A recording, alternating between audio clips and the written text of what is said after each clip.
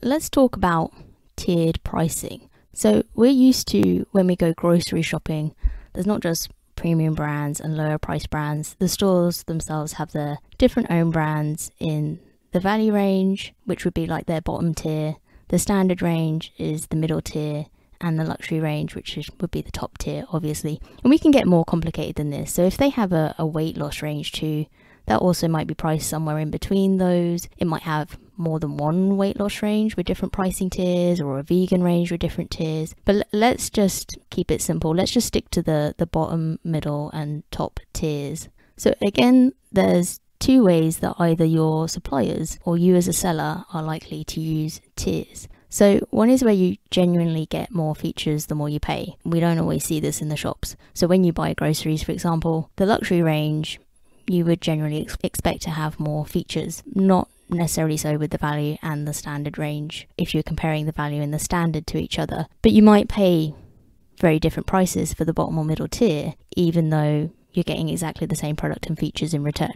If you pay for the top tier for your bookkeeping software, for instance, or you, you have a top tier for a subscription that you sell, the expectation usually holds out that there's more benefit in that top tier, and features should equal a benefit, right? And the second way of looking at this, though, is all about packaging. So one person buys a block of cheese in the shop from the bottom tier and it comes in a plain bag. The next person pays extra for the exact same cheese, but that middle tier means they get it in a bag with a nicer design on the outside. So I have bartered with a university professor using a block of cheese before. I'm not going to lie, it was from the luxury range because being a professor isn't as glamorous as some students might think. Perhaps I was conditioned to think that by another professor who pointed to the very sensible and aging car one day and said, if you want to go into academia, don't expect to drive a sports car. Perhaps that was some Derren Brown magic and their spidey sense told them I planned to buy a colleague a block of cheese, as you do, and they just wanted to make sure that their colleague got the perceived best. And if so, it worked. I was definitely influenced. But the next time you need a favour from someone and you don't know what to offer,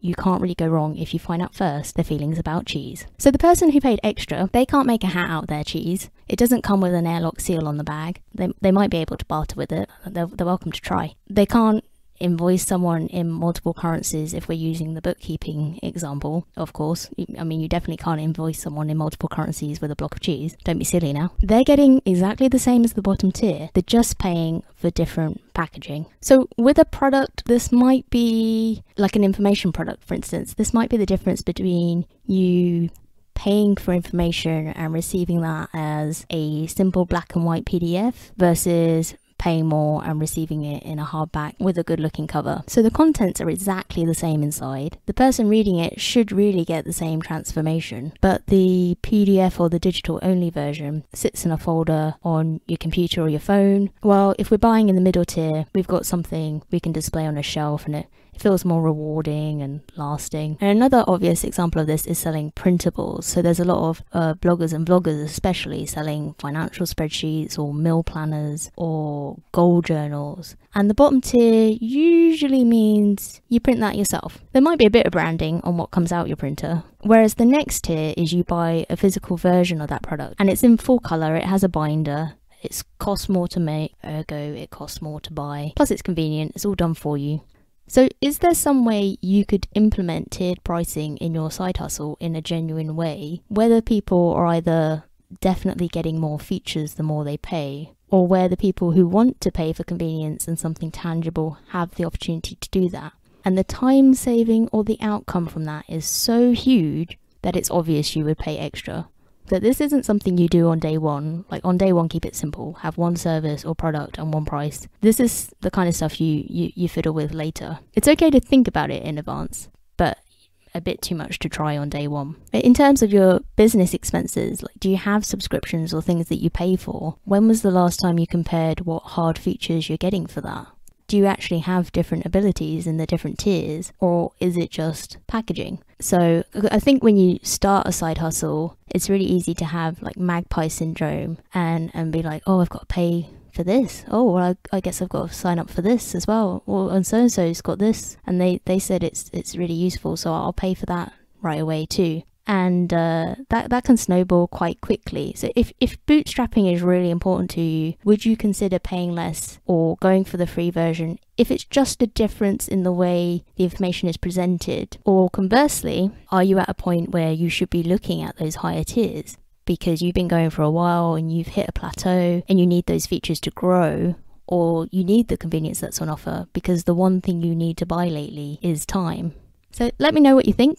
I'll aim to have some more resources about this linked to on the blog if you want to read more about this in the show notes. And maybe I can highlight some more specific examples or you can give me your examples. So, one last thing on that, which is that sometimes the bottom tier is actually free. So, now unfortunately, there isn't a groceries equivalent where you can eat for free and choose to pay more when you're ready, unless you're dumpster diving, I guess, or using an app like Olio in the UK. But this is really common with software. So I bet you can think of something you use just as the free version online. So like my friends and I use TubeBuddy for free on YouTube. And my YouTube channel is waiting in the wings at the moment, but I actually use it to research things like what I want to title these episodes because I have to do some form of keyword research anyway, and YouTube is a search engine. And also, I do plan to have an active YouTube channel with the help of TubeBuddy, so I may as well learn about search volume and, and competition for my exact terms sooner rather than later. But perhaps you have nothing to do with selling software as a service. I, I, think the most common example of this with the, the lowest barrier to entry in some ways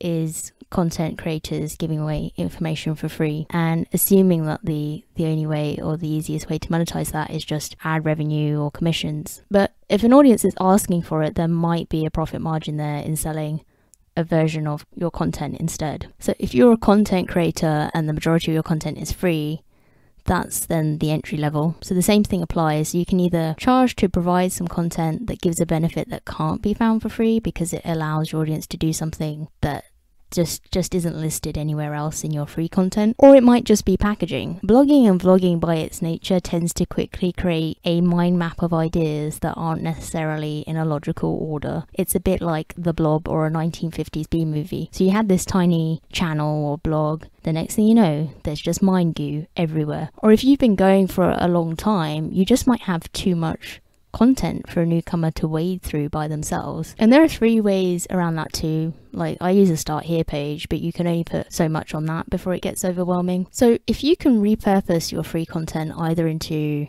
a series of steps of how to do something instead of someone trying to work out from the hundreds of thousands of words that you've already written. If you can give someone a more concise roadmap so they know exactly how to begin approaching that content and that lets them only pay attention to the stuff they really need for their goal instead of randomly clicking and trying to make sense of you having emptied out 10 years worth of what goes through your brain. Some people will definitely pay for that and it genuinely has value.